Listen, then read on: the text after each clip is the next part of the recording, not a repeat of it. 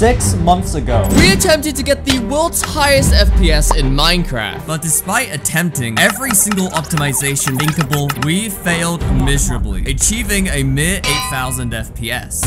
Far from the current world record of 14,000 FPS. But that changes today. After months of research, trying to figure out every single optimization you can make in Java Edition Minecraft, I think we're finally ready to attempt to beat the Minecraft FPS world record. Nothing is going to stop me. And this, my friends, is my gaming PC. This is my gaming PC. It has liquid cooling, an RTX 4070 Ti, an i7 13700F CPU, and 32 gigabytes of DDR4 3200 RAM. Not to mention, our previous FPS record of 8000 FPS was actually done on a PC that only cost me a little over $300. So this will be a huge upgrade. So basically, this PC is an absolute beast.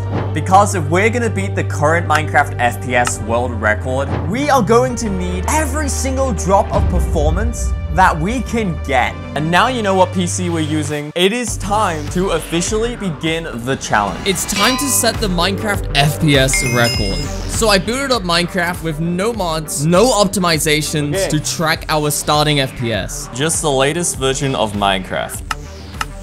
Completely default video settings. Alright, so I guess I just open up F3 and see what our starting FPS is. Three, two, one, and go.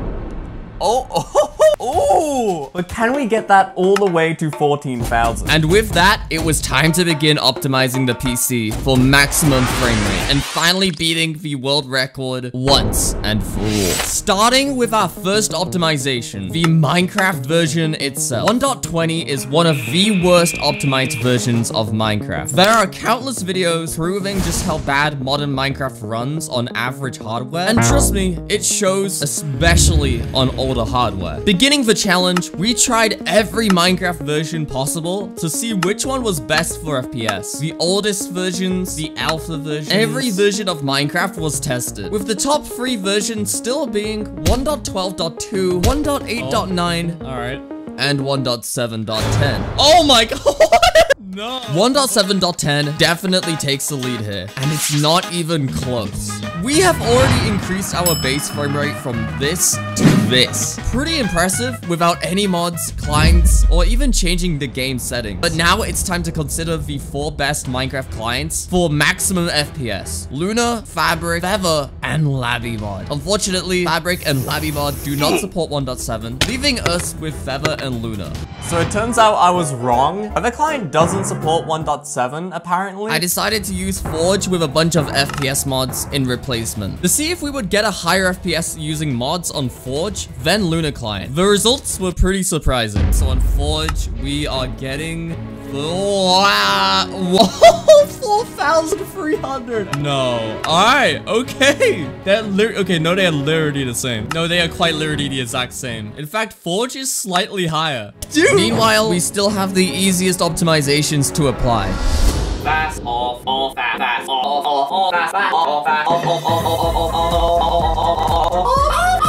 Zero. Oh my and of course, render distance was set to 2. 5,000 FPS. Alright, we're getting somewhere. For our next optimization, we will be abandoning the in-game FPS counters. The in-game FPS counter actually limits FPS a lot, so we will now be using fraps. I've allocated an extra gigabyte of RAM to Minecraft. Let's go ahead and boot it up. Oh, and this time, we're also gonna use a super flat world. Go. Disabling mob spawning, daylight cycle, and even disabling the chat for maximum FPS. 5,800 FPS. So we've optimized Minecraft a lot, but what about the computer? Windows 11 by default is horribly optimized, severely bloated, and runs unnecessarily bad. But we can change that, and here's how. I disabled all startup programs, adjusted my power plan to the highest performance, toggled all background apps to off, 100% power, changed my 3D graphics settings to fastest, and I also installed Hone. which basically increases your FPS by correcting your PC's settings. And it's gonna work really well. So yeah, this is what it looks like. We're just gonna go ahead and enable all of these. On, on, on, feature breaking, on, optimize mouse, on. It, it might help, I don't know. Lock for GPU at 100%. On, lock for CPU, on. Do not do what I just did, by the way. Enable everything without looking at what it does. And now that we've applied these changes, let's see what difference it's actually made. Here we go. All right, we booted up the world and we are getting seven. Okay. Wait, hold on. I got this menu open. Oh my, what? 8,000? That is crazy. 6,000 FPS to go. Game on. So I added even more FPS mods, 11 mods. But we had a problem. We've maxed the FPS counter, which means no more fraps. And now we were reaching 10,000 FPS. But then I realized this. We are still running at a resolution of 1440p, and we're getting 10,000 FPS. So let's see what happens if we lower our resolution down to 720p. One, go. 11,000! No! Alright, it's dropped down to 3,000. Hold on. Oh! That is absolutely crazy. At crazy. only 3000 FPS away, we were starting to get really close to the record. So I messed with video settings and applied a texture pack that gets rid of every block in Minecraft. Three, two, one. 12,900 FPS. Wow. At this point, I was running out of things to do to increase our FPS any further. I tried enabling more optimizations and also closing my recording software. But surprisingly, this did not make any difference. I don't know how to get past the 12,000 FPS, almost like a wall that we're hitting. That's when I decided it was time for a custom operating system.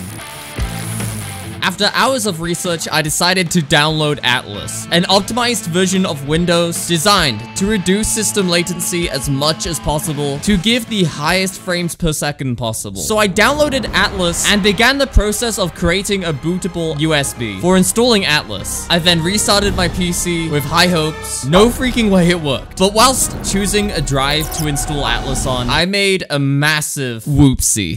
Hey guys. So it turns out I just made a really big mistake. Um, I don't know how much of this video is recoverable, but I just accidentally deleted everything. In the process of selecting which drive I was going to install Atlas onto, I accidentally wiped my current Windows installation.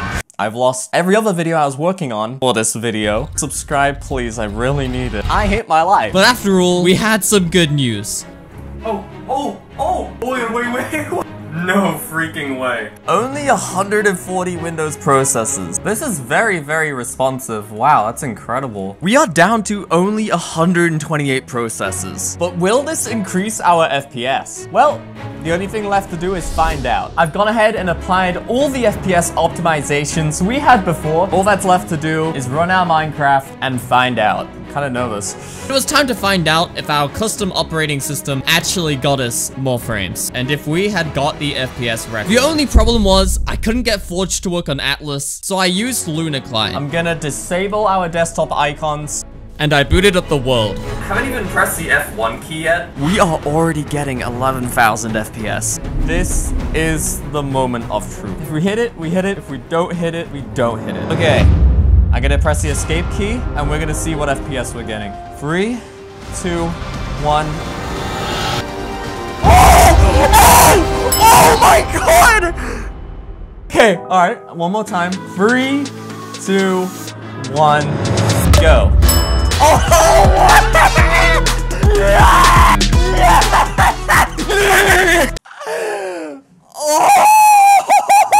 One last time.